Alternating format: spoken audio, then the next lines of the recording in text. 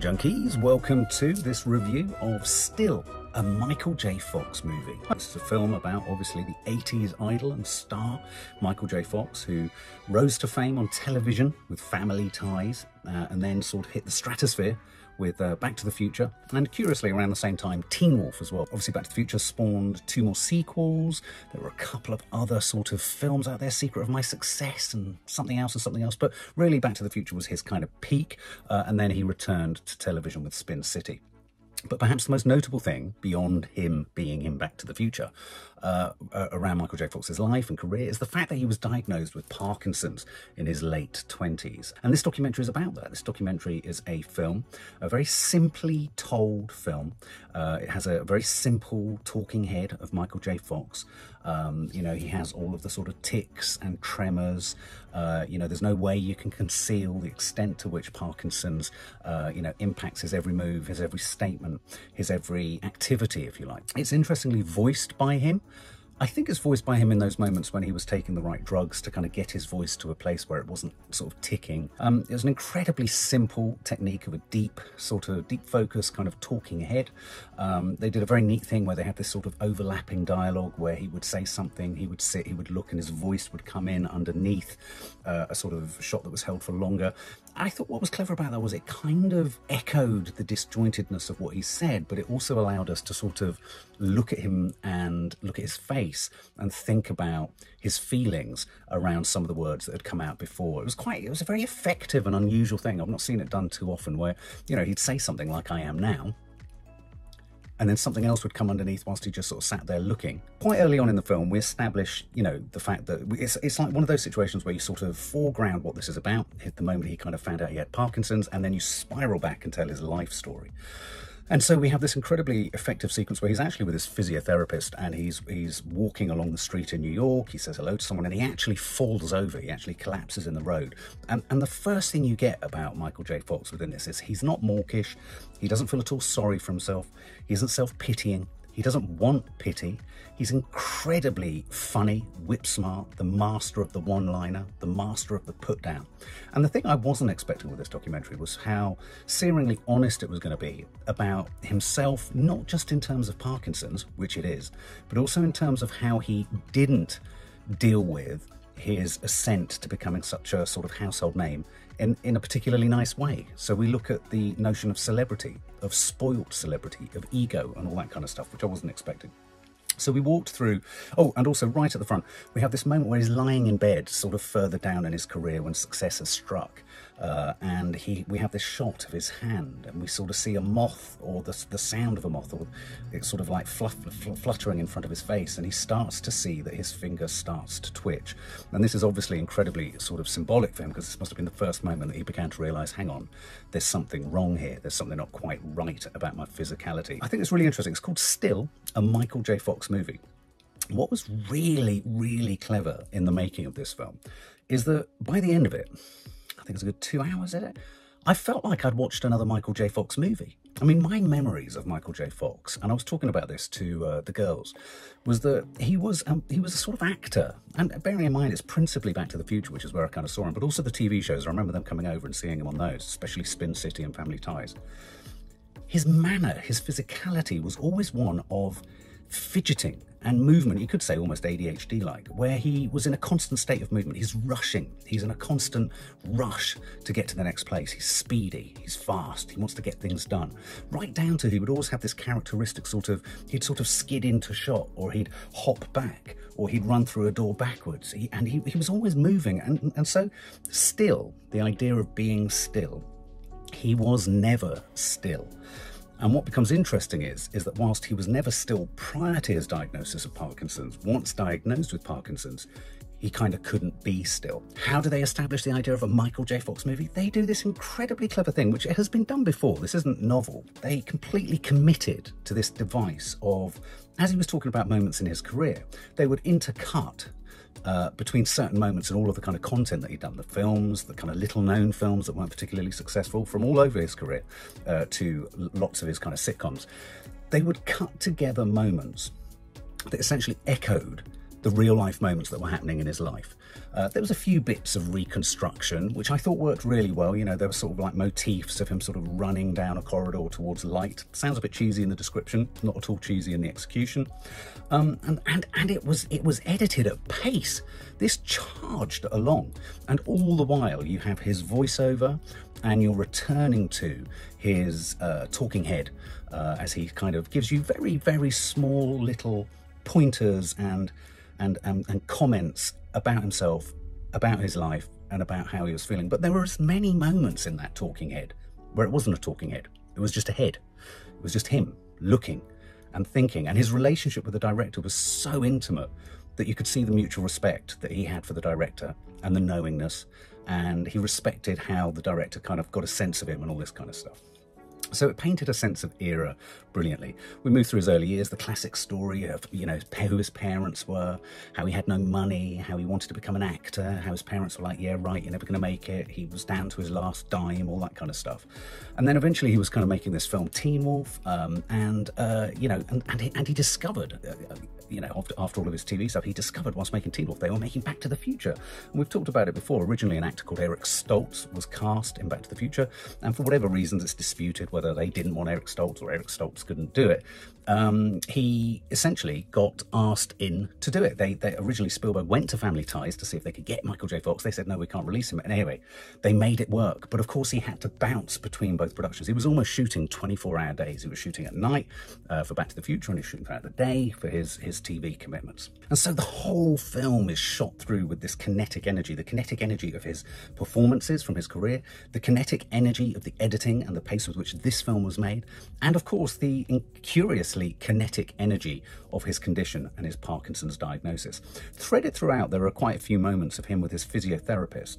Um, and these were incredibly tender, sensitive moments where his physio is trying to, you know, get him to do all these exercises, to keep practicing walking because he doesn't want to fall. You know, we discover within the film that he's fallen and broken his hand at one point, and we obviously we saw him fall right at the beginning on the streets of New York. Um, there's another time he talks about how he injured his face, had to have bolts put in his face because he fell over and smashed his face. Yeah, there's a great line where he says something like, you know, yeah, gravity's a thing even when you're this height. You know, he, he was famously very, very short. And, and again, it was sort of painted a really sort of um, nostalgic portrait of the 1980s, how he came to fame and all the kind of premieres and everything he was going to, and how, you know, he really was a big thing. And if you think about it, he was a big thing around a relatively a, a few kind of projects other than his TV stuff. He talked about how he met his wife. This was really nice. He talked really honestly about essentially what a wanker and an arsehole he became. You know, there was even footage, which is very rare to see, where he was sort of preparing for a take and he was on set and he was being really miserable and really stroppy and a proper ego with the production team. You know, he'd gone from like, you know, desperate to star in something to just taking it for granted because he was the Wonder Kid. He was the big star in town. He was the biggest name in Hollywood at that point. And he talks honestly about how it all went to his head. And so when he met his, his wife, who was also cast within the uh, sitcom that he was in, he said that he was he said something about I think a breath smelling of garlic and she called him a complete fucking asshole and stormed off and what I liked was that's the kind of turning point where you realise that Michael J. Fox, at the point that he was brought down a peg or two, not just in his career, but obviously eventually in terms of his health, is willing to acquiesce and accept and admit but essentially, he was a complete fucking arsehole, and he was. he talked about how um, when he got his diagnosis, so, you know, eventually got his diagnosis, and he concealed it for something like seven years. Um, he talked about becoming addicted to alcohol. He said, I was definitely an alcoholic. He's been sober ever since, I think nearly 30 years now. Uh, he moved on to pills, and this is while he's concealing it all from the industry. And then upon diagnosis, someone suggested these pills, and you have these kind of rapidly cut sequences where he's taking pills to get him through scenes, but he only had a limited amount of time before those pills would stop working, so he got 45 minutes. And what was really good was they were showing us all these scenes and clips and moments from his TV series where you now know that behind his face, he's going through the stress of concealing his Parkinson's diagnosis. And also, you know, eh, much further on, he talks about how when the tremor started to kick in, especially around, I think, his left hand. We had a long montage of all these scenes in which props would be placed in that hand. He would conceal that hand. He would use that hand in different ways. And again, this goes back to this idea of not being able to keep still. His character, his persona, his star status was about movement, kinetic energy, franticness, frenzy, shaking, movement, nervous ticks, and all that kind of stuff, and how he managed to fold that in to his performance. There was even a moment where one of the kind of key aspects of Parkinson's is that a certain mask, a sort of rictus mask, kind of creeps across the face. The eyes become slightly inexpressive, uh, the face becomes quite straight. And he was saying, he said this really interesting thing where he said at one point when he saw himself on screen towards the end of, you know, after three or four years of having been diagnosed with Parkinson's, he thought, oh, that sort of slightly blank, kind of inexpressive face is just me being, having got confident and calmer and better and more crafted. You know, I've, I've mastered my craft of acting more. But in fact, it was him getting iller uh, and, and more unable actually to express anything that he wanted to. So he saw it as kind of confidence, what he saw as confidence was actually a sign of him getting more and more ill. There was a great moment where he said that when he was diagnosed, he was handed a pamphlet uh, about Parkinson's, and on the on the picture saying it, "This will change your life." This is, you know, back in the day, the doctors were like, "This is this is it. This is a life sentence. You know, this is going to be how you end your days." Um, and he looked at the piece of paper and he saw two smiling faces of a couple, and he said, "Well, when I looked at it, I couldn't really work out which one had been given this earth-shattering news because they both looked so happy." You know, very funny moments when someone, I think, his physio or someone asks him, "How's your wife?" Uh, whilst he's doing some sort of stomach exercise or whatever. He says, you know, married to me, and then there's a great long pause. Still, you know, he understands, he talks really sensitively about how, in many regards, it's so much easier for the ill person. I think people who, have, who are carers will relate to this. It's so much easier for the ill person because they're dealing with his, he's dealing with his illness, but he says, you know, she's having to deal with everything around it, the the setting, the family. You know, he has three children. There's some lovely moments between him and his kids, his grown-up kids at home. And again, they're all incredibly. It's a warm, loving family, but none of them are kind of on eggshells with him. None of none of them are giving him special treatment just because he's Michael J. Fox, and also just because he's got Parkinson's. No, he's almost, you know, he's almost sort of like that annoying guy who sat at the kind of breakfast counter who's kind of saying stuff. Then, of course, we get to the point where he talks about coming out with, with Parkinson's, and we have all this sort of material and footage uh, of him in chat shows and interviews about uh, what it means to have come out and how he carried on performing, and you see him in Spin City. But none of this is done in a mawkish fashion. He owns it he takes ownership of his narrative. He doesn't see himself as a victim. He's not a victim. He's taken control. This is an opportunity. There's a fascinating moment as well in the interview where obviously he's kind of fading. And what happens, there's moments where he's also recording the voiceover for this documentary. And obviously, as the, the, the drugs wear off, his sort of inarticulacy increases, the tics increase, the shaking increases, and he becomes less able to be sort of coherent or present. And there's a moment in the interview where he says, I need to take my I need to take my pills. And he says that he describes it to the family as if, you know, when he you know, when he takes the pills, it's like waiting for a bus to come along. But then when the bus comes along, he says, when he takes his pills, he says it's such a strange experience. He said he almost feels like he is poured, his personality, his soul is poured back into his physical body and he's present again. And it's interesting, there's one moment where he does take the drugs and two minutes later, you suddenly hear how sort of cogent and coherent and more smoothly he can talk.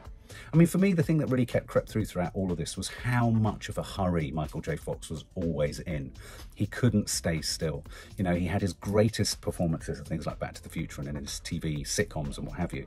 But his greatest performance, in a sense, is how he's managed to perform Parkinson's in a way. He's done it with dignity. He's done it with a lack of sort of, you know, self pity. He's not asking anyone to say, you know, it's not poor me, poor me. He's present. He's pragmatic. He's incredibly funny, incredibly self-effacing, quite tough. You can tell he's quite a tough cookie. There's an incredibly tender moment where he's sat on the coast by the beach with his son, and they're shot from behind looking out, so they're kind of silhouetted. Um, they're talking about how the son has kind of, you know, gets concerned about whether Michael J. Fox is going to hurt himself, and how you know most people who don't want to sort of, you know, Michael J. Fox doesn't want to have to doesn't want to have to accommodate the fact that he can't do what he wants to do. But of course, for the family, that's always a worry because it's like the family want to kind of look after him more and sort of make sure he doesn't fall. But for Michael J. Fox, he just wants to get places, he wants to do things, he doesn't want to sit still. And there's a moment where they reach over, they both hold hands. And at that point, the son is holding his hand. And you can see that the shake is there, but the shake slows down. And for me, it was such a wonderfully tender moment. This film is all about movement. It's really interesting. It's all about an inability to control movement. You know, his career moved at a sort of frantic, frenetic, kind of kinetic pace. His physicality and his performances was very sort of on edge and nervy and kind of sort of ticky and kind of you know and that's what his charm was that he was a sort of cheeky kid you know da, da, da, da. you know if you think of his marty mcfly in, in back to the future that's exactly what he was like um, and then, of course, he gets this condition, which means he can't help but move. And yet, even within all these kind of judders and movements and shudders of Parkinson's, he's desperately wanting to move. He, I mean, in all of his physio clips, he's wanted to get to the end of a corridor or a road faster than the physio says he should. You know, he needs to master things. And when he falls, the idea that he keeps falling and hurting himself again is because he's in this huge, huge rush. This is a non gloopy portrait of Michael J. Fox. You know, I, I, think that Michael J. Fox's greatest performance in many regards is quite possibly the way in which he has dealt with his diagnosis. I found it incredibly interesting, informative. I know some reviews have said, okay, it doesn't give you, it doesn't tell you too much, but actually, I think it gives you everything you need to know about Michael J. Fox. I could have watched him just sitting, listening to questions from the director as more, if, if you like, than necessarily hearing him answer. There is so much going on in there, so much going on in his head. A lot didn't need to be said to get across how much inner strength this, this familiar face, this household name has had to muster in order to keep moving